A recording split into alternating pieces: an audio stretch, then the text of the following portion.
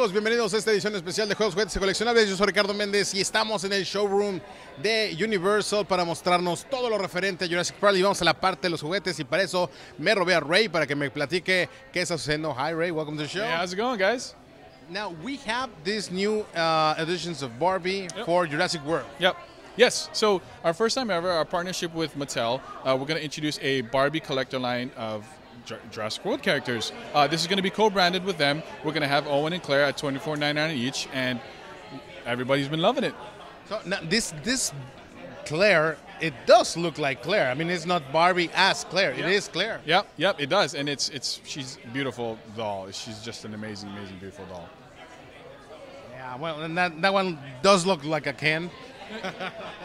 Trust me, we did our best, and we're still look. We did our best to try to tra- capture Chris Pratt as much as possible. As you know, I know, I know. I know, I know, I know. But now we have the, the, the great success of toys uh, nowadays, which is mystery packs. yes, yes. And we have these mystery packs. What's inside of them? So, of course, I mean, what's inside is our dinos. Uh, the big thing about us is it's not much different from what we have, uh, what other companies are doing, right? The biggest difference we have, however, is that each one of these dinos are easy, is either going to have one point or two points of articulation, uh, whether it's the neck, whether it's the, the mouth, or whether it's the legs. So um, that's the first time I've ever seen, at least on my side, um, that we have any articulation in a basic uh, blind bag. Yeah, that's that, that was something I, I was uh, I was about to comment with the Rex. Let's do the Rex. I mean, because uh, this this mystery packs are are usually just a static figure. I mean, but this has this movement that you can play, or or or or or, or grow up the, the, the, play that you have, and you can combine it with this three. Uh, this three three quarters inch, this figures. Yes, actually. So uh, if you, if you know, kids, again, if you don't want to buy the blind and you need to know who you're buying, you can always buy the three pack. You will always get an exclusive figure, ex- exclusive dino with these, whether it's a new deco or whether it's our villain. So there's always a way, uh, a different way to buy your dinos as well. So we want to give the kids and consumers options for that, right? Um, before we even get into this huge thing of toys that you see here, Okay. right, is I want to show uh, and, and explain to you guys what Mattel did is amazingly is is universal scale. What we wanted to do with Mattel is create a world where everything is in scale with each other.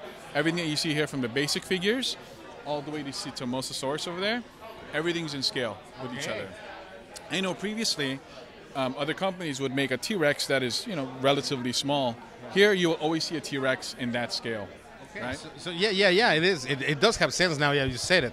I mean, this uh, Moloch. Yep. It is short one. We know the Velociraptor. It's not that big. There's a Dilophosaurus as well. Yeah. So as Okay. you can see here, in scale with our basic action figure, all in scale, right? The cool thing about this is as you go up higher in price point, the scales get larger and the features are more abundant.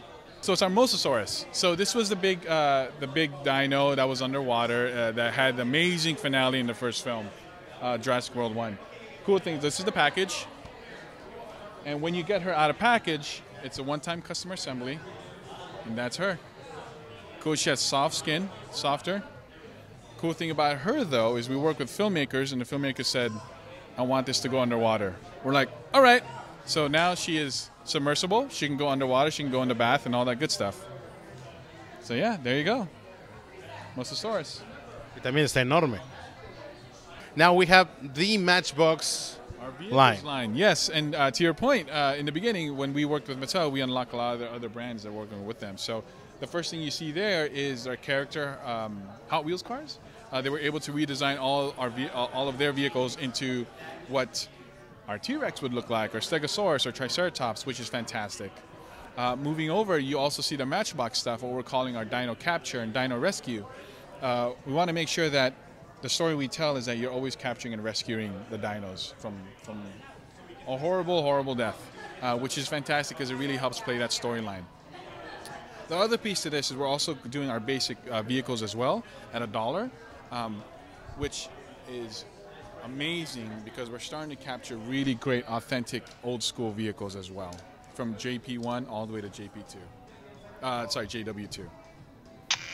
The other ones doesn't exist. I'm loving. I'm loving this one. and that one, and I think I'm gonna buy all of them. That's fantastic. And now these are um, Yeah, our Play sets. Yeah, our play sets for the Matchbox stuff. So we want to give the kids the opportunity to take their play on the go. So as you can see here, we're offering a full, complete play. You get a vehicle, a dino, as well as a play set. And you can see here that uh, it opens up. It opens up to a playset, capturing something, a, a great scene from the film, which is great. And then if you end up collecting both, you can actually kind of semi put them together to build up a little bit of a bigger world, which is great. yeah, that looks great. Now we have this uh, for the collector market. Yep. Uh, a collector like myself, uh, this is the closest thing I will get to owning a JP Jeep, but we wanted to make sure that we, we give the collectors what they want. Um, this, uh, our Jeep diecast Wrangler from Matchbox, which is great.